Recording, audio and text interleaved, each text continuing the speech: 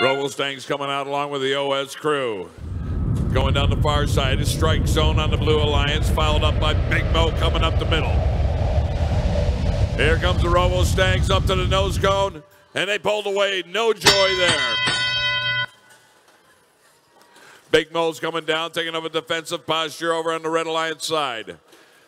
Strike zone working the hatch panels back on the Blue Alliance side. Big Mo's in a parked position. We got 35-38 over on the Blue Alliance side. It's a Robo Jackets out of Auburn Hills working that nose cone of the Blue Alliance cargo ship. OS crew out of Royal Oak trying to do a defensive posture there. Meanwhile, Strike Force going down, picking up some of that low-hanging fruit. Draining another three points for the Red Alliance.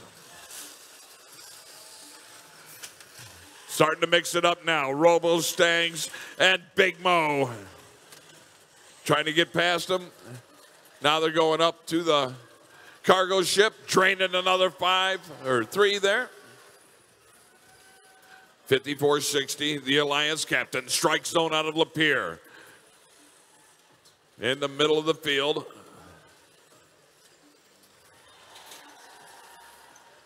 Going in for a short shot, nails a three over to the defense of the Blue Alliance.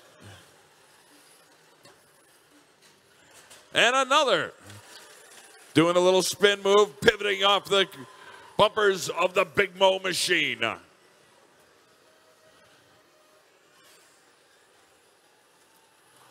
Robo Jackets on the far side, nailing those three pointers for the blue. About an eight point spread. Now we're in the last 30 seconds. Robo Jackets going up on the top shelf, second level. It's bouncing around off to the left. Strike zone going to the top shelf. Now we're down to 15 seconds. Robo Jackets up and securing a three. Pull their arm up. They got it. A three. Level three climb. Big Mo's going up for a level two. Oh, OS Crew got the third level for the red and two singles.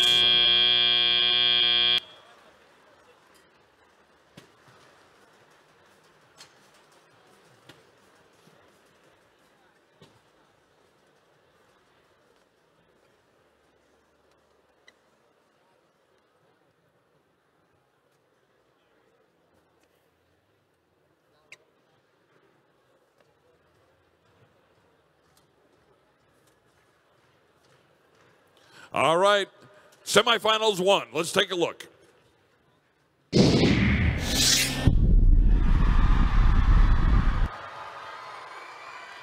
A new high score, 91 to 72. The Red Alliance takes a one to nothing lead. Get that two victories, and we'll have our first.